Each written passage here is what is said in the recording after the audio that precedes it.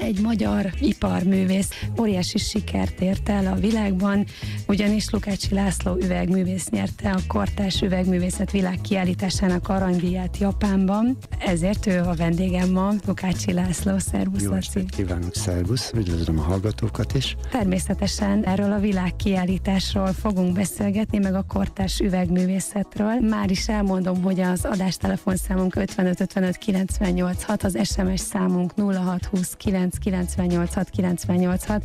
Ezeken a számokon kérdezhettek, illetve üzenhettek. Azt olvastam az interneten, hogy most 11-szer rendezték meg ezt a, ezt a kiállítást Japánban. Mesélj nekünk erről. Igen, ez egy három évente rendszeresen most már hosszú idő óta megrendezett nemzetközi kiállítás, amire tulajdonképpen bárki jelentkezhet.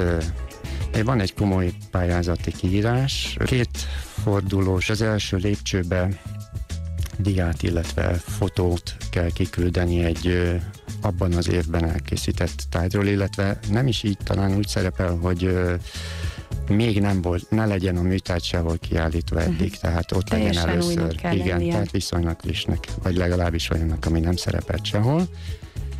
És így fotó alapján megszűrik a műveket. Hát ez esetben idén uh, 39 országban 470-en adtunk be munkát, és első lépcsőben uh, 72-re csökkentették a művek számát. Ezt így gyakorlatilag fotó alapján bírálták el, majd ezt a 72 művészt kiértesítették, hogy küldheti a tárgyat, akkor már ki kellett küldeni, és ott megrendezték a kiállítást, és élőben bírálták el a továbbiakban a műveket. Tehát mindenki magát képviseli, nem, a, nem az országát, vagy nem, nem egy, egy valamilyen közösséget, hanem bárki jelentkezhet, aki Így az van, üvegművészetben tevékenykedik. Magyarországról más is jelentkezett? Egy, arról tudsz? Elképzelhető, hát végül is a lehetőség adva van. Én is jelentkeztem már egyébként egy régebbi alkalommal, egy 1992-ben azt hiszem, igen. Igen, akkor egyébként kaptam egy Fujita díjat. Azóta nem is, is azóta nem is adtam voltál. be, nem is adtam be, és most valahogy úgy éreztem, hogy itt az idő, még egyszer nekifutok. És hát nem várt jó eredmény született, úgyhogy ezen én is nagyon meglepődtem, és nagyon jól esett. Nincsen itt egyébként korosztályi határ sem? Tehát, hogy hány éves korig, vagy hány éves kortól lehet jelentkezni? Nincs, nincs megkötés. Tehát akkor mondhatjuk azt, hogy a, a világ mondjuk közel 500 üvegművészek közül, aki jelentkezett, végül is a te munkád találtatott a legjobbnak. A fődíj mellett van egy Grand Prize, a fődíj mellett egy másik kiemelt uh, díja az a Gold Prize. Uh-huh. A kiállításnak. Ugyan? És kik bírálják a munkákat? Ki a zsűri? Megírták, hogy öt tagú nemzetközi zsűri van. De a, ezek olyan nevek, akik az üvegművészetben ö, igen komoly tekintének számítanak? Így van, így van, ez mindenképpen ez fontos, igen. Uh-huh. Azt is szerintem sok hallgatóban fölmerül az, hogy tulajdonképpen mi is az a kortárs üvegművészet, hogy miben különbözik az a, az üvegtől úgy általában, amit látunk bárhol. Sorozatban gyártott funkcionális üvegekhez képest, ipari üvegekhez képest egyedi tervezésű, szabad alkotásokról van szó. Itt aztán mindenki képessége és tehetsége, meg fantáziája szerint próbálkozhat. Néha kívülről is jönnek szobrászok, esetleg festők is ezzel az anyaggal, van valami elképzelésük, és ezzel az anyaggal próbálkoznak, illetve hoznak létre alkotásokat. Néha meg uh, ipari jellegű tervezők, esetleg gyárban dolgozó tervezők is hoznak létre egyedi, egyéni ö, alkotásokat. Kezdenek így elmosódni így már a határak különben így ö, egyre inkább. Mert régen volt egy ilyen, hogy, hogy a képzőművészeti alkotók, meg a, az ipari jellegű iparművészek, akik terveznek. Az ipar számára különböző dolgokat. Most már van egy ilyen átjárás, és, és kevésbé éles ez a határ. Ahogy én tapasztalom a, a világban, a kortás üvegművészetnek egy teljesen kialakult infrastruktúrája lett, tehát hogy mint, mint hogyha egy szinte egy önálló művészeti ág lenne. Tehát én például látom, hogy vannak neves galériái, meg ö, gyűjtők is vannak, meg múzeumi gyűjtemények, sőt már múzeumok is külföldön, ahol kortás üvegtárgyakat gyűjtenek. Így van, ezt te is így érzékeled?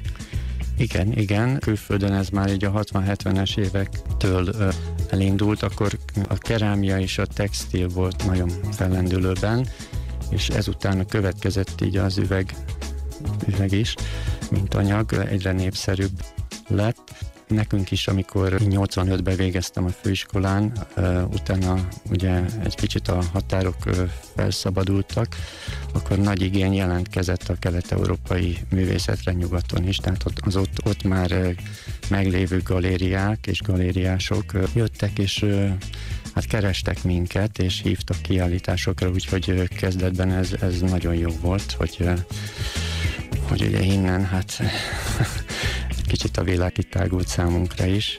Hát azóta is rendszeresen a magyar üvegművészek jelen vannak külföldön, nem kell szégyenkeznünk. Mennyire erős ebben a, a tekintetben Magyarország, tehát a kortárs üvegművészetben? Talán sport hasonlattal élve kajakkenú. Mi a helyzet itthon? Azt kell, hogy mondjam, hogy szerencsére itthon is elindult ez a, ez a folyamat, most kezdik felfedezni itthon is a, a gyűjtők is a, az üvegművészetet, aminek hát persze nagyon örülünk. Jelenleg is például Pannonhalmán van kollégának, Hefter Lászlónak nagyon szép galériája a Pannonhalmi Apátság tövében. Mm, most Szentendrén például az Erdész Galéria próbálja egy kicsit népszerűsíteni az üvegművészetet. Van Veszprémben a Lackó Dezső Múzeumban is egy üvegkiállítás. Természetesen felvetődik az a kérdés, hogy ahogy említetted már, hogy a 80-as évek közepén szereztél diplomát az egyetemen, és azt mondtad, hogy utána rögtön megkerestek benneteket, fiatalokat, külföldi galeristák, és úgy láttam, hogy már a 80-as évek közepétől te rögtön kiállító művész voltál, és külföldön ismerté vált a, a neved ezen a területen. Igen, ezek nem önálló kiállítások voltak, hozzáteszem, tehát ezek többnyire csoportos kiállításon én is részt vettem. Hát én azt gondolom, hogy ezért ez manapság sok művész kívánja, hogy adasson meg neki, hogy, hogy így, így indulhasson a pályája, hogy, hogy jelentős külföldi kiállításokra hívják meg, és, és ott vesz részt. De természetesen adódik az a kérdés, hogy a te pályádon eddig a sikerig milyen nagyobb állomások vezettek? Nehezen tudok így visszatekinteni. Tehát eleinte megkerestek minket a galériások, és, és nagy örömmel mentünk ki. Ez részben köszönhető tanárunknak, Bói Zoltánnak, feleségével Lugosi Máriával, aki szintén üvegművész. Ők segítették a fiatalokat, nagyon jól esett akkor. Felajánlottak lehetőségeket, hogy esetleg egy egyéni kiállítás, bár én ezzel mindig úgy voltam, hogy sajnos nincs elég tárgyam, sose.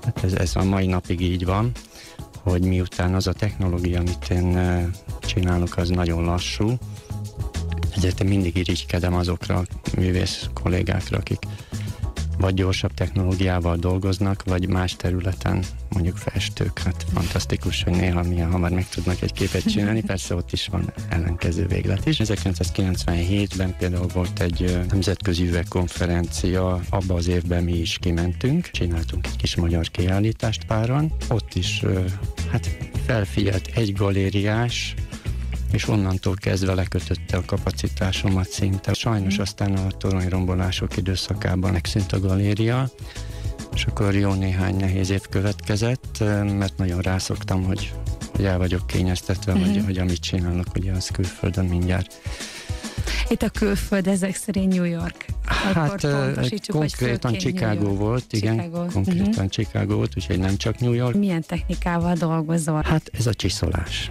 egész egyszerűen. Kezdetben egyébként meleg üveggel is foglalkoztam, ami a fúvott üveget is jelenti. Tehát én, én kis hutát építettem, kis olvasztókemencét, és fújdogáltam is. Aztán úgy éreztem, hogy abban nem tudok kiteljesedni annyira, mert párhuzamosan csináltam ezeket a kis üvegplastikákat is. Gyakorlatilag én úgy csinálom, hogy sík üveglapokat ragasztok össze tömbé és tükröket, és Persze, aztán... közéjük az üveglapok igen, közé tükröket Igen, ezek így, ezek így váltakoznak mindenféle variáció szerint és aztán az így összeragasztott tömböt kezdem el csiszolni. Ez időnként embert próbáló tud lenni, és akkor én ott a saját rabszolgámként a műhelybe beköltözöm, és szinte nem látok se hallok, csak reggel lemegyek, este följövök. Az a nehéz ebbe, hogy mint tudjuk az üveg törékeny, és az mindig törékeny. Egy, egy rossz mozdulat hetek, hónapok munkáját tönkre teszi. Jártam a műhelyedben, és egészen ö,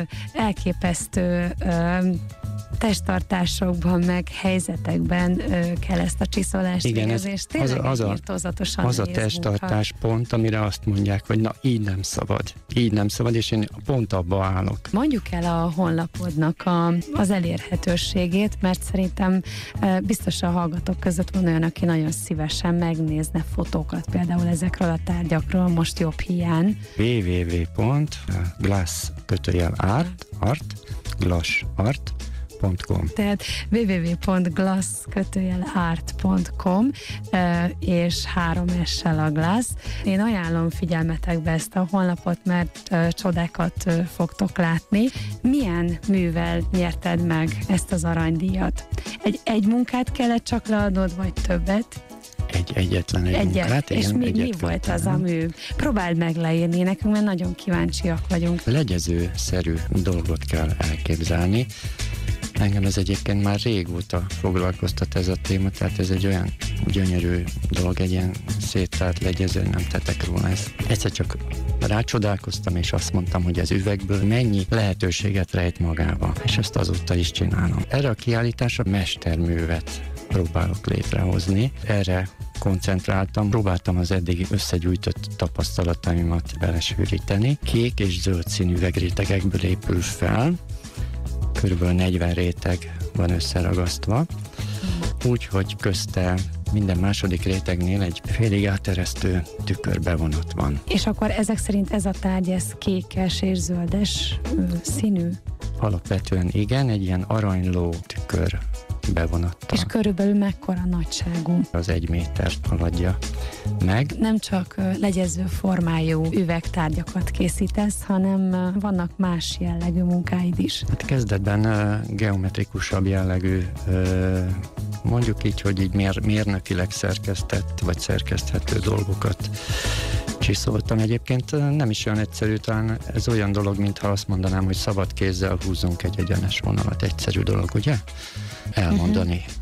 Ne csinálja meg valaki. Sokszor az ilyen mérnökileg eh, precízen szerkeztett dolgokat eh, a legnehezebb kivitelezni, és aztán rá is jöttem, hogy ennél szebb is, hogyha ha az a vonal nem egyenes. Sőt, hogyha nem teljesen szimmetrikus, akkor még szebb lesz, úgyhogy egyszer csak bejött, hogy hát végül is a természetben is ez van. Természet a legnagyobb szobrász, ez a katalógusomnak a mottoja, van mit ellesni onnan és tanulni való és figyelem azokat a formákat, állandóan mindenen jár a szemem. Mi az, ami szép?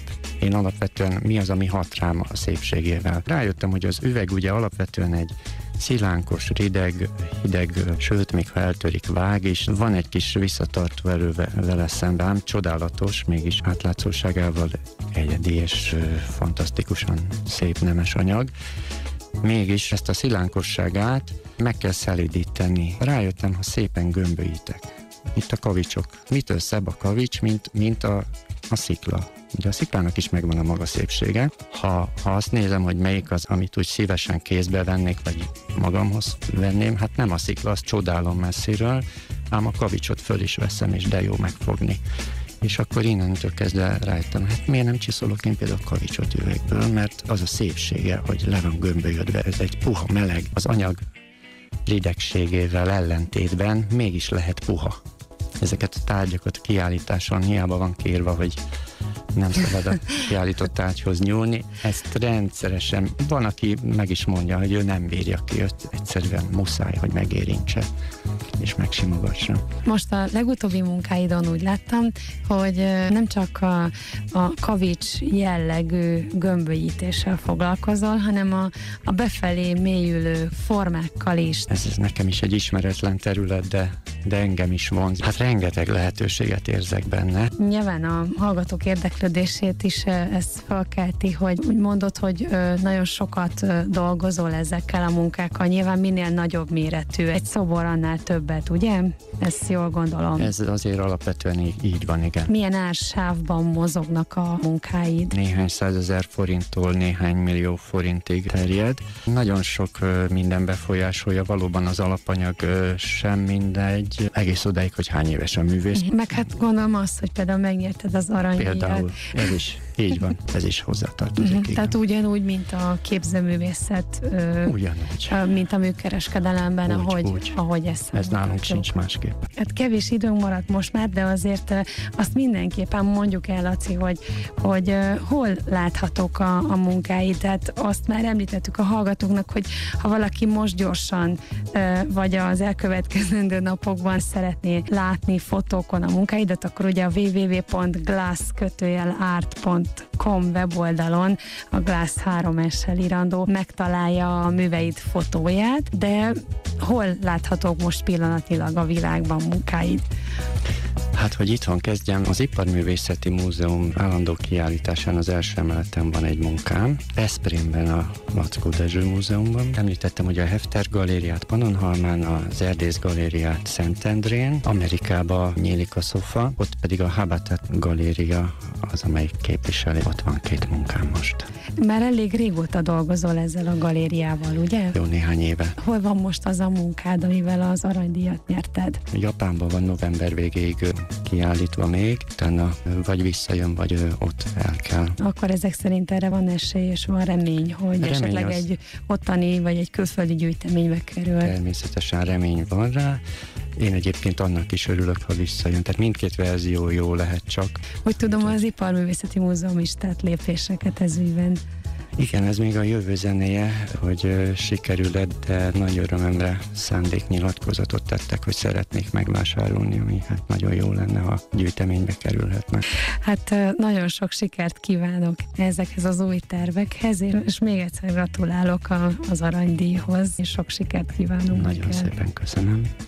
A Galéria Caféban ma este Lukácsi Lászlóval beszélgettem, aki a Kortárs Üvegművészet világkiállításának aranydíját nyerte Japánban. Már a véget ért a műsoridőnk. Sziasztok mindenkinek, jó éjszakát kívánok!